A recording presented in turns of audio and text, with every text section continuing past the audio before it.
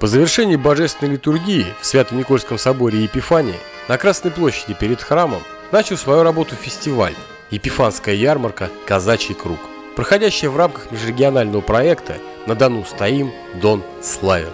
Мероприятие открылось освещением медовых рядов, традиционно проходящим накануне праздника происхождения честных древ животворящего креста Господня, именуемого в народе Медовым Спасом. Медовый Спас э, связан с незнесением честна животворящего креста Господня. Освещается в этот день мед. И чтобы в радость, в сладость всем верующим православным христианам. Сегодня традиционно у нас день города, ярмарка. Собирается народ, чтобы осветить мед. Э, день сегодня солнечный, ясный. Жизнь вокруг храма живет. Процветаем. Храм Божий восстанавливается. Мира, радости и помощи Божией всем. История праздника происхождения древ креста Господня в греческом часословии 1897 года объясняется так.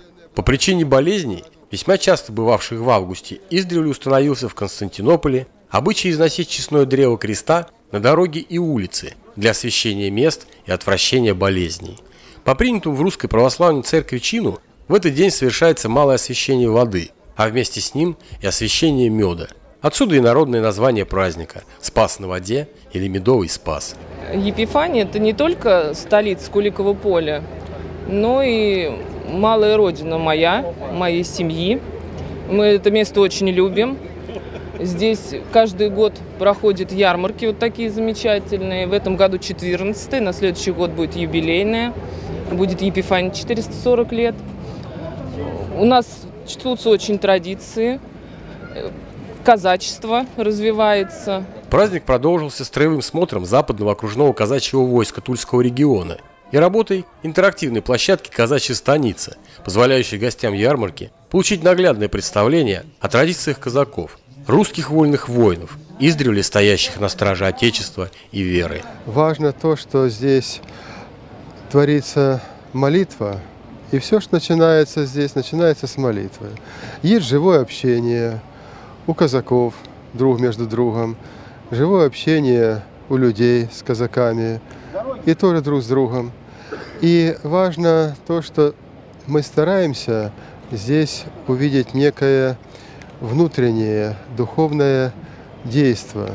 Есть очень важная такая характеристика – вот, наверное, любого времени. Это критический остаток христианства, остаток верных. Об этом повествовалось и в Ветхом Завете, и в Новом Завете. И важно, что вот этот малый церковный остаток, присутствующий здесь, он несет слова молитвы и слова добра. Все прекрасно знают, что Епифань старинный казачий край. Епифань строилась по указу Ивана Грозного, как казачья крепость. И э, здесь, э, под Епифанию, много казаков сложили свои головы, защищая южные границы Руси.